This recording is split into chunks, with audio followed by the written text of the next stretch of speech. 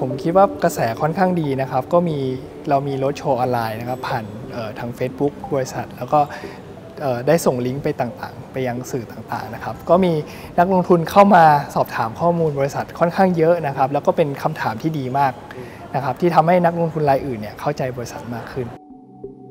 PLT ต้องบอกว่าเราเป็นหุ้นที่ไม่ได้เหมือนใครนะครับ เนื่องจากค่าเฟดของเรา 70%เนี่ยมาจากสัญญาระยะยาวในประเทศนะครับ ส่วนไอ้ที่เป็นบริษัทในตลาดหลักทรัพย์ที่เดินเรือต่างๆเนี่ยค่าเฟดเขาจะอ้างอิงกับค่าระวังตลาดโลกนะครับ ซึ่งมันมีการขึ้นลงนะครับตามไซเคิลของมัน แต่ PLT ของเราเนี่ยรายได้เราจะเน้นดีเซลหน้าปั๊มราคาน้ำมันดีเซลหน้าปั๊มซึ่งถ้าปัจจุบันเนี่ยดีเซลจะอยู่ที่ 33 บาทใช่ไหมครับถ้าปรับดีเซลถูกปรับขึ้นค่าเฟดของเราก็จะปรับขึ้นตามนะครับซึ่งต้นทุนของเราก็จะมาจากดีเซลเหมือนกันกับ FO ก็คือน้ำมันเตา นะครับสองส่วนนี้จะเฉลี่ยอยู่ที่ประมาณสัก 45%กับ 55%นะครับซึ่งน้ำมันดีเซลเราเวลาเราซื้อเราซื้อวอลลุ่มเยอะอยู่แล้ว ราคามันก็จะถูกกว่าราคาหน้าปั๊ม 2 บาทเฉลี่ยนะครับแล้วก็ส่วนน้ำมันเตาเนี่ยที่ผ่านมาเป็นผลบวกกับบริษัท เนื่องจากที่ผ่านมาตั้งแต่กลางปีจนสิ้นปีที่แล้วนะครับราคาน้ำมันเตาเนี่ย ต่ำลงเรื่อยๆ จาก 20 กว่าบาท ตอนนี้เหลือ 15 บาทเฉลี่ยนะครับ อันนี้ก็จะเป็นปัจจัยที่ทำให้มาจิ้นของเราเพิ่มมากขึ้นในช่วงที่ผ่านมานะครับ โดยที่ผ่านมาเนี่ยก็ o โ profit margin ของเราไม่เคยต่ำกว่า 18%จุดแข็งอีกอันนึงก็คือลูกค้าเรานะครับ ซึ่งเป็นลูกค้าผู้นำมาตรา7รายใหญ่ของประเทศ โดยที่เรามีสัญญาระยะยาวกับลูกค้าเรานะครับ สัญญาแรกก็คือ สัญญาที่ไม่มีวันสิ้นสุด ไม่มีวันหมดอายุ หรือเรียกว่า evergreen contract ซึ่งเรามีสัญญานี้กับปตท OR จะบอกว่าเราเป็นรายเดียวนะครับ ที่ขนส่งแก๊สและมีสัญญานี้ขึ้นมานะครับ ซึ่งมันก็อยู่กับบริษัทมาจนถึงปัจจุบัน แล้วก็ทำให้บริษัทมั่นคง สัญญาที่ 2 ก็คือกับ WP นะครับที่อายุสัญญาเนี่ยอยู่ที่ 15 ปีนะครับซึ่งที่ผ่านมา WP ก็ต่อ สัญญาเราก่อนหมดสัญญาตลอดนะครับ เพราะว่าเขาก็กลัวว่าเรือในประเทศจะไม่พอนะครับสองส่วนนี้แหละเป็นส่วนที่ทำให้ PLT เรามั่นคงในเรื่องสัญญากับผู้นำมาตรา7นะครับสุดท้ายเลยนะครับ จุดแข็งอีกอย่างหนึ่งก็คือสินค้าที่เราขนนะครับก็คือ LPG ต้องบอกก่อนว่า LPG เนี่ยเป็นสินค้าที่ยังจำเป็นอยู่นะครับ ในช่วงที่ผ่านมาสถานการณ์โควิดเนี่ยถามว่าทำให้ยอดใช้ยอดขาย LPG ในประเทศเนี่ยลดลงไหมลดลงนะครับ แต่ว่า ก็ไม่ถึงกับลดลงเยอะนะครับไม่เหมือนธุรกิจอื่นที่ต้องหยุดชะงักลงนะครับคนยังต้องใช้แก๊สในการทำกับข้าวอยู่นะครับคนยังต้องใช้แก๊สในการผลิตวัตถุดิบต่างๆ อยู่นะครับเพราะฉะนั้นเนี่ยหนึ่งสินค้าที่มีความมียอดใช้ที่มั่นคงนะครับสัญญาที่ระยะยาวนะครับรวมถึงค่าเฟดที่ไม่ได้อ้างอิงกับค่าเฟดค่าระวางตลาดโลกเลยนะครับทำให้ PLT เราเนี่ยไม่เหมือนใครนะครับแล้วเป็นหุ้นตัวแรกที่น่าจะเข้าเทรดในตลาดหลักทรัพย์ MAI ราคาเนี่ยเข้าใจว่ามีนักวิเคราะห์เข้ามาช่วยกันวิเคราะห์บริษัท รวมถึงทาง Underwrite เขาก็กำหนดราคาที่มันเหมาะสมกับ PLT ในปัจจุบันนะครับ ซึ่งทั้งทั้งผมและครอบครัวแล้วก็บริษัทเนี่ยก็พอใจกับราคาที่ได้นะครับ เพราะเงินทุนที่เราได้เนี่ยมันสามารถพัฒนา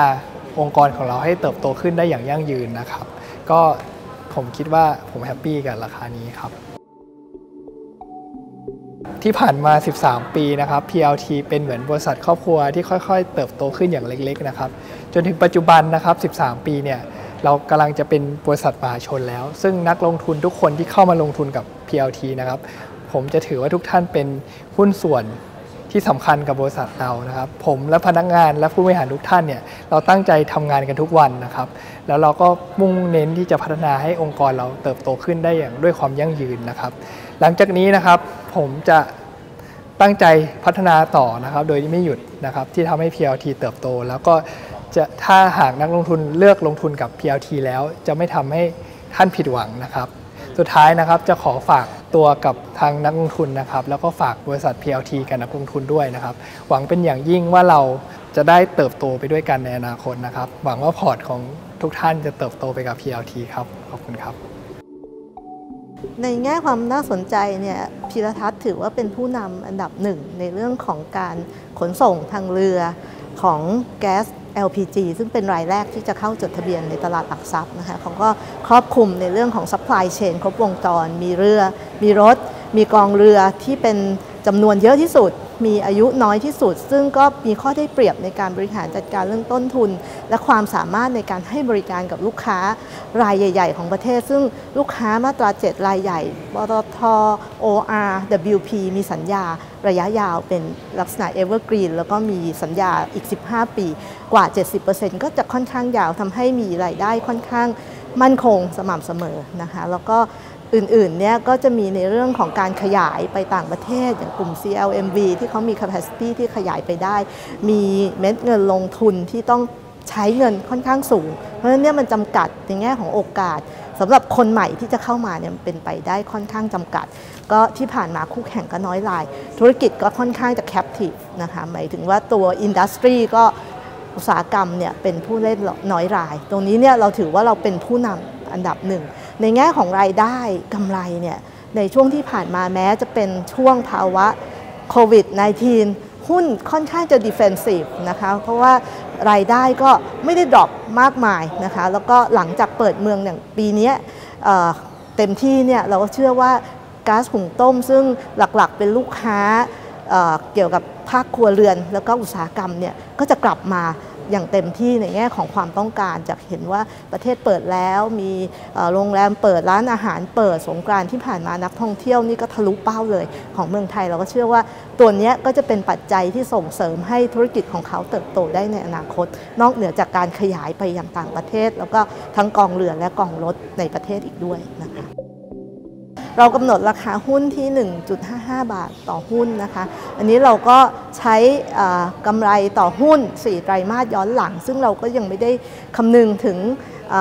กำไรที่จะเกิดขึ้นในอนาคต ซึ่งรวมถึงศักยภาพการเติบโต ซึ่งมี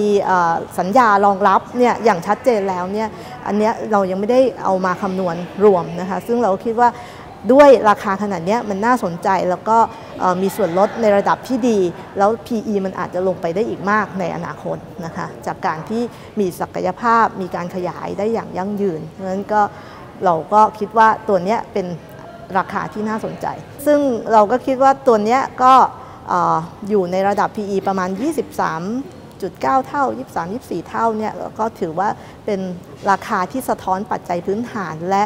ศักยภาพการเติบโตของบริษัทในอนาคตทำลายเราจะเสนอขายนะคะก็เริ่มตั้งแต่วันที่ 19 ถึง 21 ก็พรุ่งนี้มรืนนี้แล้วก็ถึงวันศุกร์นะคะแล้วก็เราก็จะเข้าเทรดประมาณปลายเดือนเมษายน